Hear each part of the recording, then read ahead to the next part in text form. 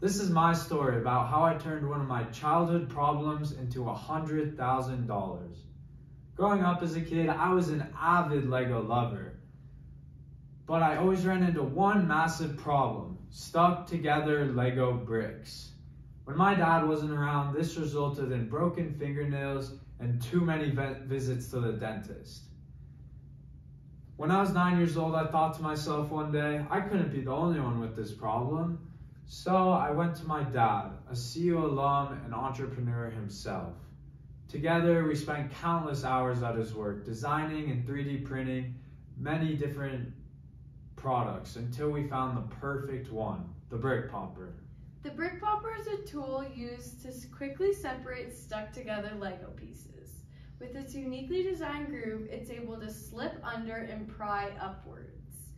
This tool is designed to last a lifetime with its smooth nickel-plated tip and rounded edges to prevent damage to Lego bricks. You'll never need a screwdriver or butter knife ever again. The brick popper also comes in a variety of different colors. I'm Jake Riel. I'm a freshman at CU Boulder. I'm the inventor and co-founder of Brick Popper. This is my father, Ryan Riel. He's the co-founder of Brick Popper and Lucid Dimensions. My name is Simone Seward. I'm a freshman at the Leeds School of Business. This is our mentor, Brad Kopitz, and he is the CEO and co-founder of Artifact Uprising.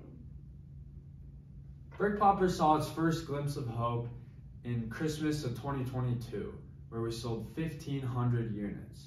The following year, in 2023, we sold 9,000 units at a price of $9.95 on Amazon Prime. As you can see from this graph, there's a huge spike between November and December. Brick Popper actually made 39% of all 2023 sales in these two months, completely selling out Brick Poppers two weeks before Christmas. Legos are essential for the holidays, which is why the Brick Popper makes a perfect stocking stuffer. As we can see, when people are buying Legos, they're also buying Brick Poppers. Credibility is important, and Brick Popper has been able to maintain an amazing rating of 4.4 stars out of 459 reviews on Amazon, becoming Amazon's choice. This shows that Brick Popper already has credibility for itself. This is Lego's brick separator tool and it goes for about $4. While it's effective, it's not nearly close to the efficiency and speed of the Brick Popper.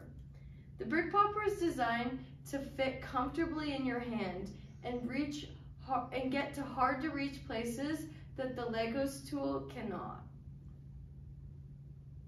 In 2021, Lego saw a saw $1 billion of sales on Amazon alone, becoming their top selling toy. From 2023 to, from 2023 to 2024, Brick Popper saw a 212% increase in revenue going from selling 9 units a day on average to 30. With a 12% click to buy rate, these numbers prove that the brick popper will exponentially grow on Amazon. The toy building block industry is massive, worth just below $14 billion.